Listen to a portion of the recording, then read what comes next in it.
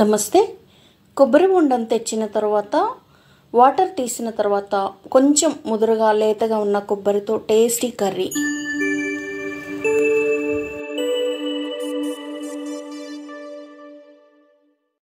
ఇక ఈ కూర తయారీకి ముందుగా స్టవ్ వెలిగించుకుని కడాయి పెట్టుకుని ఒక స్పూన్ ఆయిల్ వేసి ఆవాలు జీలకర్ర వేసి చిట్టుపట్టలాడాక ఒక పెద్ద ఆనియన్ని ముక్కలుగా కట్ చేసి అరేంచి అల్లము అలాగే ఒక పచ్చిమిర్చి ఒక ఎండుమిర్చి వేసి ఆనియన్ని చక్కగా ఫ్రై చేసుకోవాలి.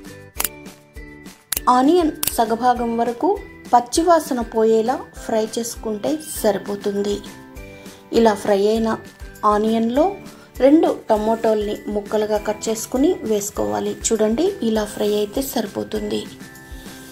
ఇక టమోటా ముక్కలు వేసుకుని ఒకసారి ఆనియన్తో బాగా కలపాలి.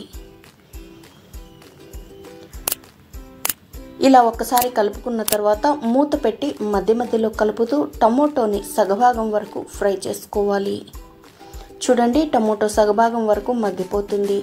ఇప్పుడు చిటికెడు పసుపు అర స్పూన్ వరకు కారము అలాగే కొంచెం ధనియాల పొడి మరి కొంచెం వేయించి తయారు చేసిన జీలకర్ర పొడి వేసుకోవాలి.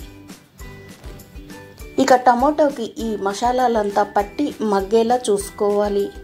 దాదాపు మూడు నుంచి నాలుగు నిమిషాల సమయం పడుతుంది. తర్వాత కొంచెం అర స్పూన్ వరకు సాంబార్ పౌడర్ వేసుకుని బాగా కలిపి ఒక కొబ్బరికాయ నుంచి వచ్చిన పచ్చి కొబ్బరి ముక్కలు అందులో వేసుకోవాలి. ఓ మూడు నాలుగు ముక్కల్ని మిక్సీ జార్లో వేసుకుని టీ గ్లాస్ వాటర్ వేసుకుని కొబ్బరి పాలు తయారు చేసి పక్కన ఉంచుకోవాలి.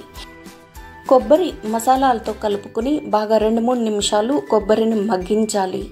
తర్వాత కొంచెం కరివేపాకు వేసి ఆ తర్వాత మనం ముందు తయారు చేసిన కొబ్బరి పాలు వేసుకుని మరో పావు లీటర్ దాకా వాటర్ వేసుకుని చక్కగా కూరను కలుపుకోవాలి.